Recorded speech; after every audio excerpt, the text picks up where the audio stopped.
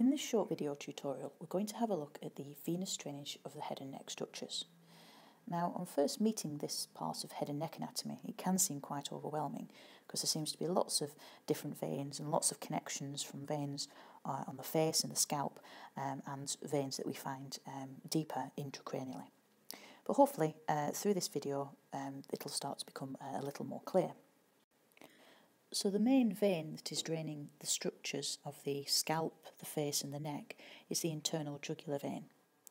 Now veins that um, drain the scalp and the face also have venous connections with a number of intracranial venous structures. So that's veins that are essentially draining uh, the brain and lie within the skull. The internal jugular vein itself is actually a continuation of um, one of these uh, veins within the skull that uh, exits through the jugular foramen and then continues as the internal jugular vein. And as we know, the internal jugular vein runs down the length of the neck, uh, arising from the jugular foramen, running through the carotid sheath along with the internal carotid and then common carotid artery, before ultimately joining with the subclavian vein, to then form the brachiocephalic vein, which drains into the um, right side of the heart.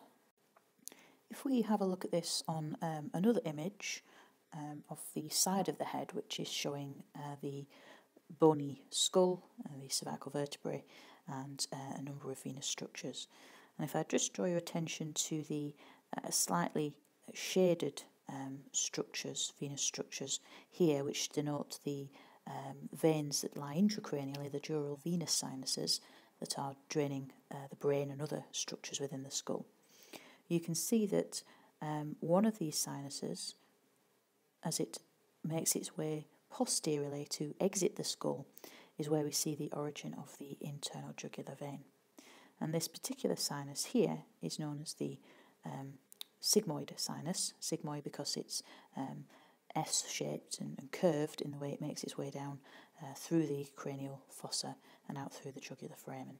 So here is the origin of the internal jugular vein, and you can see quite clearly in this image how it's uh, a continuation of our intracranial venous structures.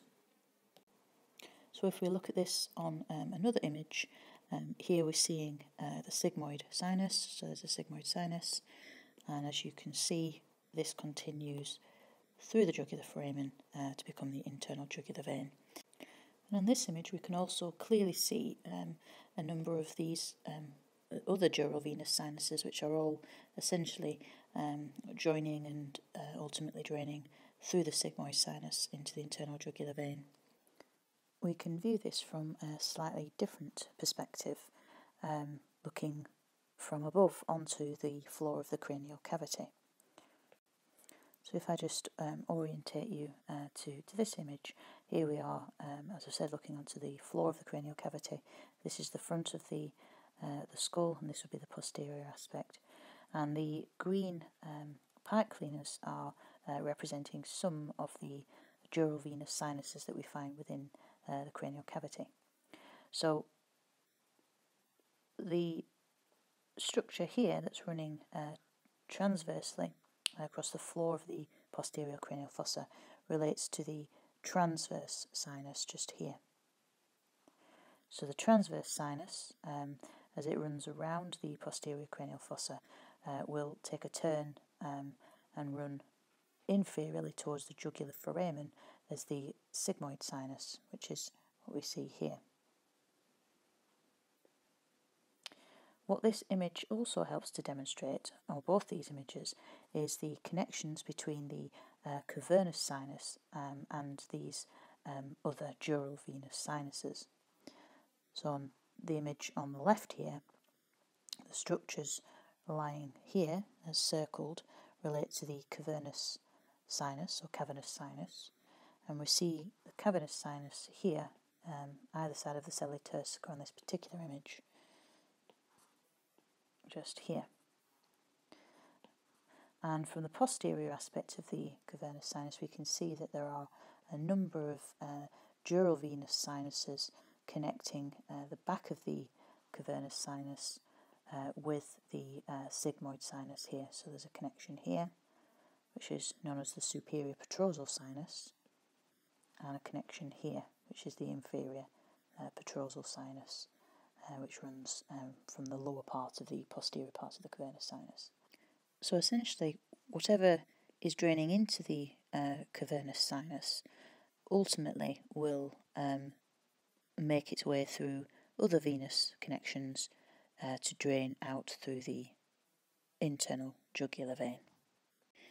Having now considered the um, intracranial veins, or these dural venous sinuses, and how they relate to the internal jugular vein, or certainly the origin of the internal jugular vein, as well as the relationship between the cavernous sinus, which is a type of dural venous sinus, and its links to uh, the internal jugular vein. Let's now turn our attention to the veins of the, the face and um, what some of the key veins are and how these communicate with uh, the internal jugular vein, um, but also how they also have uh, some connection to the uh, to the cavernous sinus. We'll also consider how um, another venous plexus, known as the pterygoid venous plexus, has uh, a connection to some of the veins of the uh, face or veins that are draining the face and also uh, the cavernous sinus. So let's first look at this on um, a very basic uh, schematic representation and then we'll apply it to a more anatomically accurate image. So here we see the view from the right side of the head just going to add in uh, some structures that will help us navigate our way around some of these veins. So here's the uh, mandible. I'm just going to outline the bony orbit. I'm going to add in the cavernous sinus, which I'll draw in hatched lines to denote that actually this is intracranial. And I'll just add the base of the skull, uh, just so, uh, again, we can orientate ourselves. So this black line here is the, uh, is the, is the base of the skull. So here we are intracranially, the cavernous sinus, and we'll add the location of the pterygoid venous plexus to this image. And we find this in a space known as the infratemporal fossa. So this isn't uh, within the, the cranium, uh, but it's actually deep to the ramus of the mandible in the uh, this space called the infratemporal fossa or infratemporal fossa. So both the cavernous sinus and the pterygoid venous plexus are collections, networks of, of veins, and they receive venous blood from um, branches that relate to veins that are draining the structures of the face, including the orbit, uh, the nasal oral cavity. We'll add to this image the internal jugular vein and one of the key venous structures that is draining the face, the facial vein.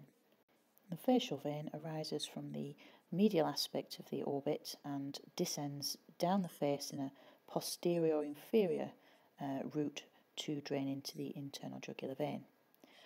And around the um, area of the orbit, the facial vein has connections with a number of veins that are draining the orbit. So I've added these in here onto this diagram. So here we have the superior ophthalmic vein and the inferior ophthalmic vein. The ophthalmic veins both drain um, into the cavernous sinus, so they'll be draining uh, tissue structures within the orbit of the eye. Because of this communication with the facial vein, there'll obviously also be some venous drainage from the orbit that uh, descends down the facial vein and into the internal jugular vein.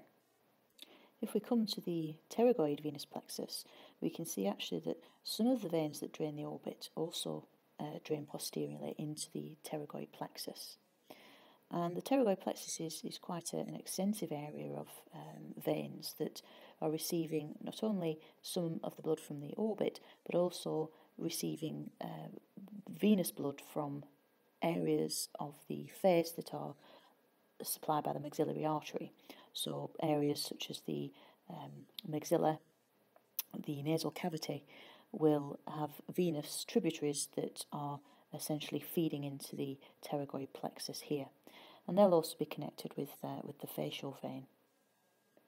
This pterygoid plexus also has venous connections with the cavernous sinus through a series of small veins known as emissary veins. So these emissary veins actually pass through the, the bone of the uh, floor of the skull to connect the pterygoid plexus to the cavernous sinus. Therefore, any um, blood that's draining from an area within the face that's passing into the pterygoid plexus potentially could run into intracranial venous structures because of this communication via these emissary veins. So let's take a look at this now on an anatomically uh, accurate image. So in this image we're looking from the left hand side of the skull and we can see quite clearly these important venous structures that we've just been talking about. So here we have the facial vein, uh, which is the main vein draining structures of the face, and we can see how this communicates with our ophthalmic veins, uh, which are relating to structures of the orbit. We can see also that the superior and the ophthalmic, sorry, superior and inferior ophthalmic veins run intracranially to join the cavernous sinus, which is lying within the skull. Going back to earlier in the video tutorial, we uh, discussed how the cavernous sinus drains posteriorly into another series of dural venous sinuses, the superior and inferior petrosals. And it's through these that ultimately the blood that's drained into the cavernous, uh, cavernous sinus rejoins the internal jugular vein. So we see the inferior and superior petrosal eventually draining into our sigmoid sinus, which um, continues through the jugular foramen as our internal jugular. We see also the pterygoid venous plexus, so this uh, is lying within the infratemporal fossa, deep to the ramus of the mandible, which has been removed here so that we can see it. And we can see that there are connections with uh, the, the facial vein, so this is called the deep facial vein, but also this uh, very complex uh, plexus will be receiving other venous tributaries that are draining the maxilla and the, and the nasal cavity. The pterygoid plexus has the connection or a connection with the cavernous sinus through a series of emissary veins, which we can see on this structure here.